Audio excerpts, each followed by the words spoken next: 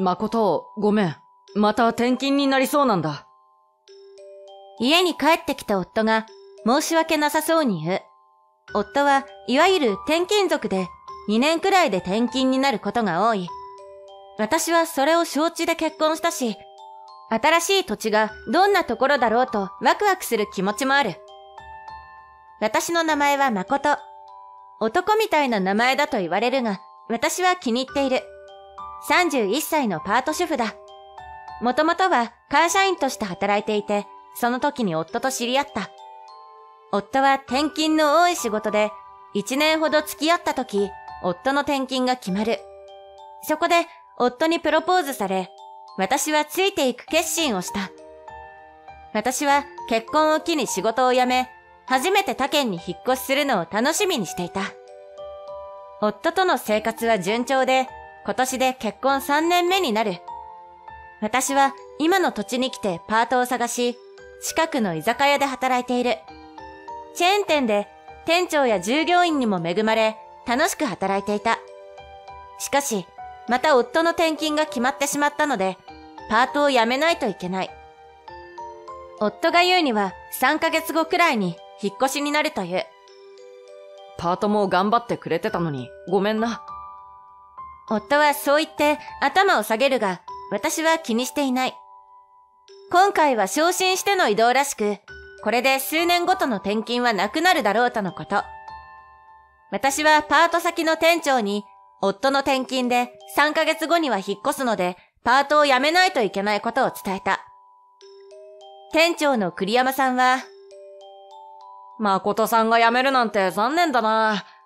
でも、新しい環境でも、旦那さんを支えてあげるんだよ。と言ってくれる。私より少し年上なだけなのに、できた人だ。引っ越しの準備もあるし、少し早めにパートを辞めることになり、本部での手続きも栗山さんがしてくれることになった。しかし、私よりも先に店長が来月にはいなくなることが決まる。うちの店は売り上げも良く、能力を買われた栗山さんはエリアマネージャーに昇格することになったらしい。代わりに来た店長は40代で、失礼なことを平気で言ってくる。誠って男みたいな名前だな。と、私の名前を笑ってきたり。結婚してるのに居酒屋のパートなんて、夫婦仲がうまくいってないんじゃないのか？とニヤニヤしてきたり、頭に来る人だ。他の従業員にも同じらしく、みんなから嫌われていた。みんな反論するのが馬鹿らしくて、笑って済ませてるだけなのに、店長は冗談を言い合える仲だと勘違いしているらしい。それからすぐに新人のアルバイトが入ってきた。名前はミオさん。25歳だそうだ。かなり美人な子で、他の従業員も浮き足立っていたが、それは最初だけだった。ミオさんは端的に言うと性格が悪い。顔はいいのでお客さん受けはいいが、本性を知っている従業員からは嫌われていた。ただ一人、店長を除いては。ある日、出勤するとロッカーでミオさんと会った。私が挨拶をすると、誠さんって男みたいってよく言われません？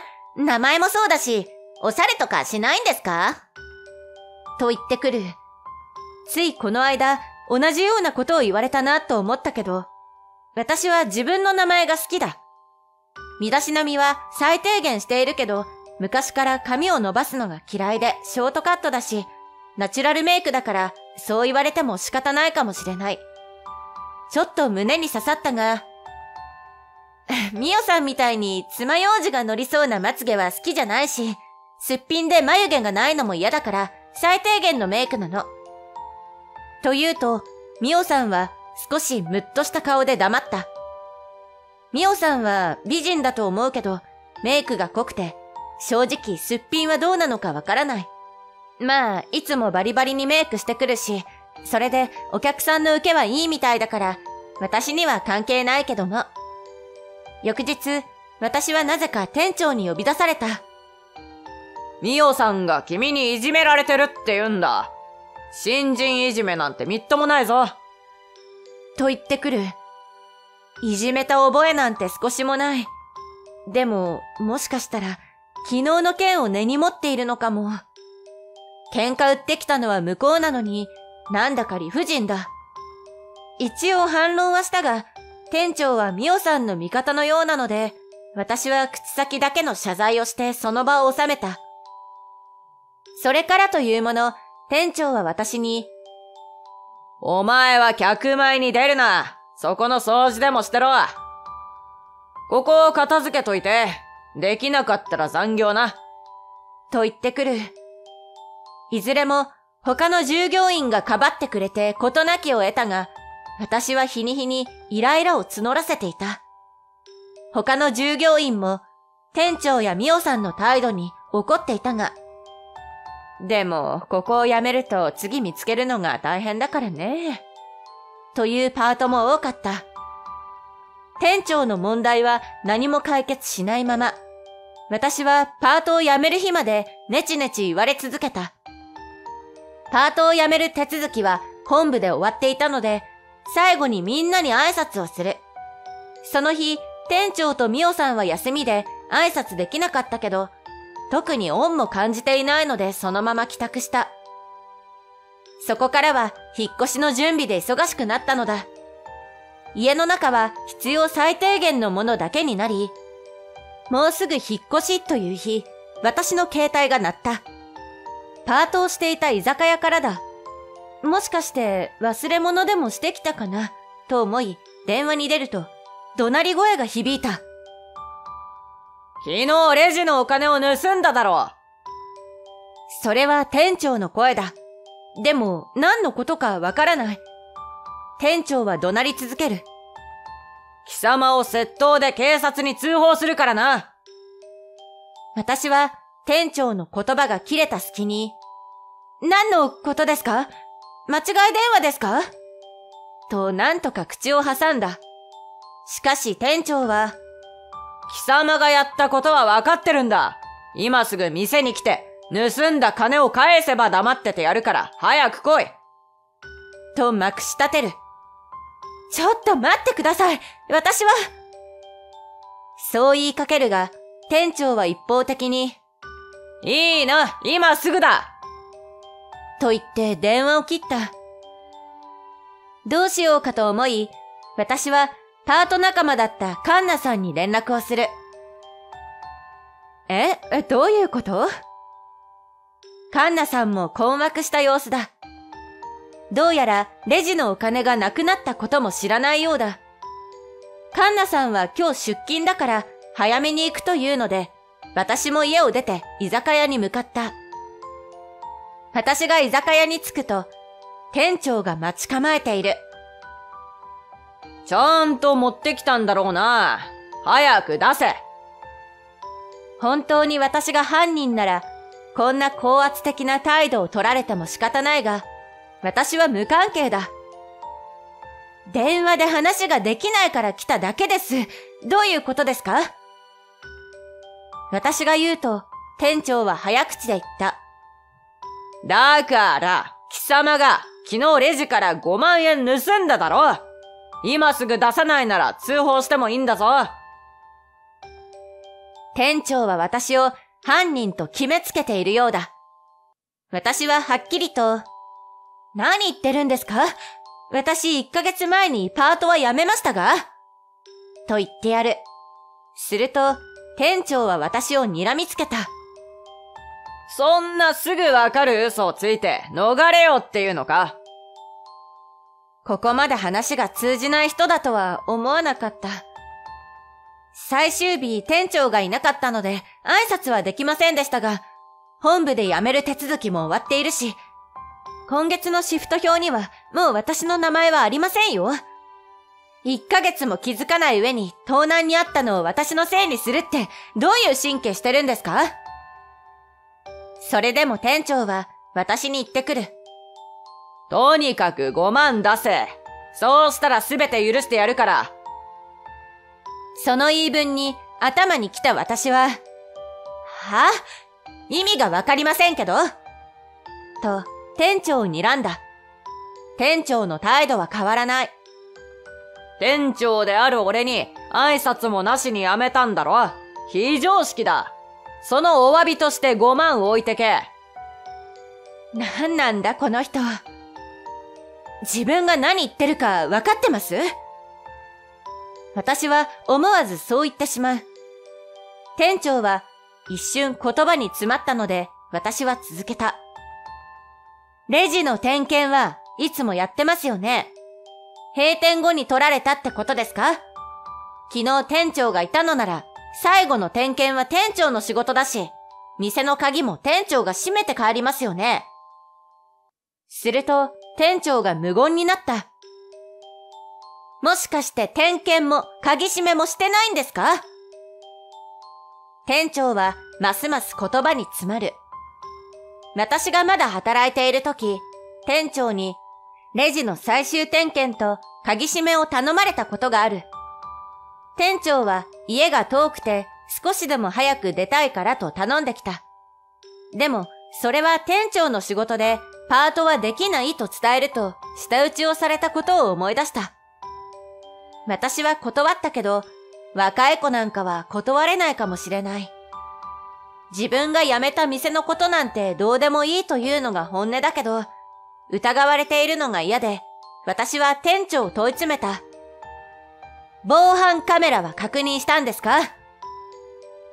店長は歯切れが悪く、あ、いや、それは、その、と言い始める。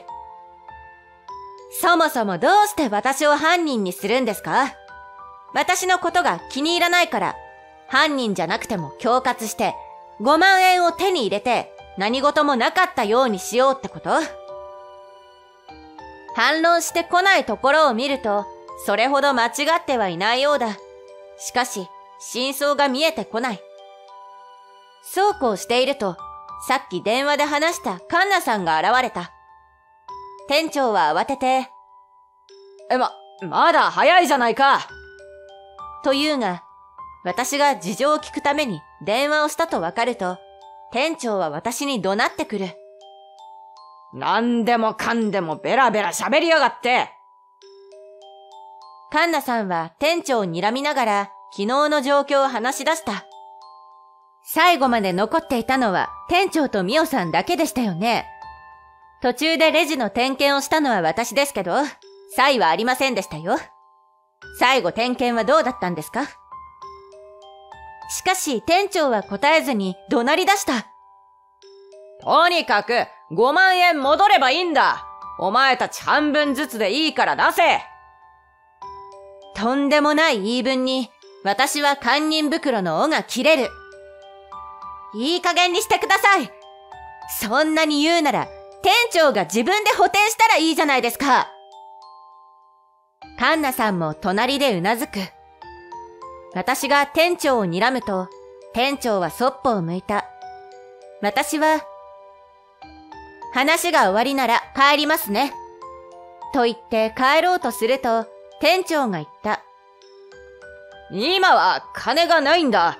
彼女が誕生日でブランド品が欲しいって言うから。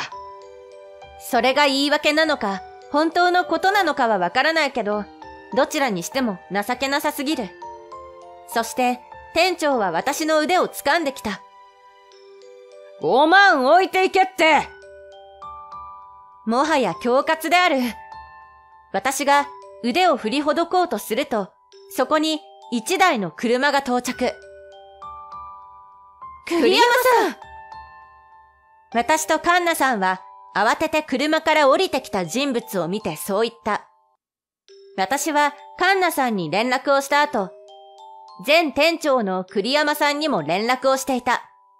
エリアマネージャーになった栗山さんに話すと、すぐに来てくれるという。栗山さんは私と店長の間に入り、さっきの話、全部聞かせてもらいましたよ。と言って携帯を出した。居酒屋に着く前、栗山さんから着信があり、渋滞で少し遅れそうだから、電話を繋いだままにしてほしいと言われた。だから、私が店長と話していたことは、すべて栗山さんに筒抜けだ。しかし店長は、態度を改めることはない。エリアマネージャーだかなんだか知らんが、お前みたいな若造に何ができる？どうやら店長は、栗山さんが若くしてエリアマネージャーに昇格したのを面白く思っていなかったようだ。私は店長に向かって、仕事ぶりを考えたら、栗山さんがエリアマネージャーに昇格するのは当然だと思いますけど。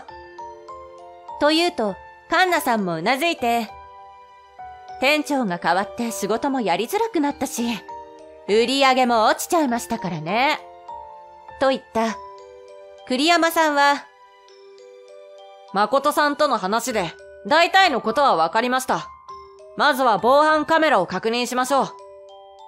と言い、店に入る。防犯カメラの映像を確認すると、店長はレジの最終点検をしないで店を出ていく姿が映っている。その後、レジの方から出てきたのはミオさん。手には財布とお札らしきものを持ったまま店を出て行った。これって、私がつぶやくと店長は無言のまま青ざめていく。店の入り口の防犯カメラも確認すると、ミオさんが出たところに車が入ってきて、それに乗っていく姿が映し出された。その車は店長のもののようだ。従業員用の駐車場は店の裏にあり、店長はそこを使っている。私は店長に言った。ミオさんと付き合ってるんですか？これってミオさんがレジのお金盗んだってことですよね店長は自分の仕事を放棄して、ミオさんとのデートのために先に車を取りに行った。そういうことですか？店長は口を開かない。私は店長に向かって言った。本部に言わなかったのは、自分が確認を怠ったのを責められるからだから気に入らなかった私に罪を着せようとした。1ヶ月も前に私が辞めたこと知らないわけないですもんね。私は女だし、強引に押し切ってお金を出させようとしたんですか？それでお金を回収すれば黙ってお金を戻して何事もなかったかのようにするってことですよね。ミオさんが盗んだのは店長の指示なんじゃないですか？そう言うと、店長はようやく口を開く。違う俺はそんな指示はしてないおおよそのことは分かったけど、ミオさんの単独行動なのか、店長も共犯なのかは分からないままだ。栗山さんがひとまず本部に報告の電話をすると、ミオさんが店に入ってきた。いつの間にか開店準備の時間だ。ミオさんは私がいることに驚いているようで、事情を話すと笑い始めた。はは、もうバレちゃったの？そうよ。お金を盗んだのは私。でも店長が持って行っていいって言ったのよ。私誕生日だったのに安いバッグくれただけだから文句言ったらレジのお金を持って行って好きなの買えって。店長は慌ててそれは違うと言っているが、ミオさんは続ける。でももうこれ買ってもらったからいいの。やっぱり付き合うならお金持ってる人だよね。そう言って持っていたブランドバッグを見せつける。それを見た店長は、お前、他に男がいたのか？と怒り出した。は？あ何彼氏面してるの？とミオさんは言い、私とカンナさんはその様子に困惑する。話を整理すると、店長はミオさんと付き合っているつもりだったけど、ミオさんにそんなつもりはなかった。ミオさんは誕生日にプレゼントをもらったら、この店も辞めるつもりだったそうだ。あんたみたいなおっさんと付き合うわけないでしょミオさんの言葉に店長は沈黙。相当ダメージを食らったようだ。すると、栗山さんが電話を終えて戻ってきたので事情を説明した。あとは栗山さんが引き受けるからと私は家に帰される。しばらくして栗山さんから連絡が来た。真相は店長がレジのお金を持って行っていいと言ったのは冗談。それを真に受けたミオさんがレジのお金を持っていく。今日になって店に来た店長はお金がなくなっていることに気づき、なんとか本部に連絡をせずに解決する方法を考えた。私の家が近いことを思い出し、呼び出してお金を補填させようとしたという。私が辞めていることは本当に分かっていなかったらしい。もちろん本部には報告が行き、店長はクビ。ミオさんはアルバイトを辞めたが、店長に結婚を匂わせていたこともあったそうで、結婚詐欺だと泥沼に陥っているそうだ。おまけに店長はストーカー化し、金持ちの彼氏の前で修羅場を演じて、ミオさんは本命の彼氏からは捨てられたらしい。誠さんへの恐喝行為については別に訴えてもらっても構わない。と栗山さんに言われたが、証拠がない。しかし、ああ、それなら大丈夫。通話は全部録音してあるから。と栗山さんが言う。さすがはできる男だ。私はいろいろ頭に来ていたので、徹底的にやってやろうと、弁護士に任せて示談金を支払ってもらった。これで、私も少しはスッキリできた。私は引っ越しも無事に終わり、新しい土地での生活が始まる。カンナさんから聞いた話だと、新しく来た店長は真面目な人で、前のように楽しくやっているとのこと。カンナさんとはたまに連絡を取っている。私はまた新しい仕事を探そうと思ったところで、なんと妊娠が発覚。夫も喜んでくれて、今は新しい家族を迎えるために準備中だ。